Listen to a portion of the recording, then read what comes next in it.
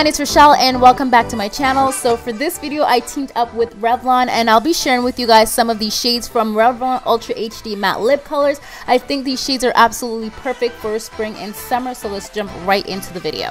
The first shade I'll be trying on is a berry shade. This one is Addiction. Now the Revlon Ultra HD matte lip colors, they go on like a lip gloss but has a velvet matte finish to it when it's dry. So it feels really nice and velvety smooth on the lips. Next up is Flirtation and it's a beautiful coral shade. I love coral and it's just perfect for spring and summer. These lipsticks are high definition you guys and very very pigmented. The applicator makes it super easy to apply and it's also very precise so you don't really need to line the lips. So next I'll be applying the shade Seduction and it's a gorgeous nude. When it comes to nude lipstick shades, my go-to everyday shade is nudes. I love nudes. I also like the fact that I can wear it with really soft glam makeup or a dramatic look.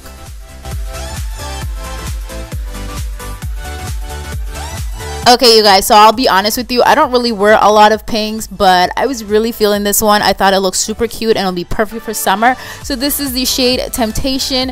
Now, what I really like about these Revlon Ultra HD, unlike most matte or liquid matte lipstick, it doesn't leave a dry feeling on my lips at all. And it's also long wearing, so it's super comfortable to wear.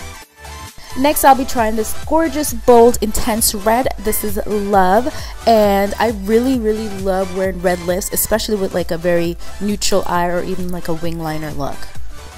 Next, I'm applying Obsession, and it's a very bright neon-like pink. I don't even think my camera is doing the shade of pink any justice, you guys, but it's really bright, it's neon, it's gorgeous, and this shade of pink is perfect for summer.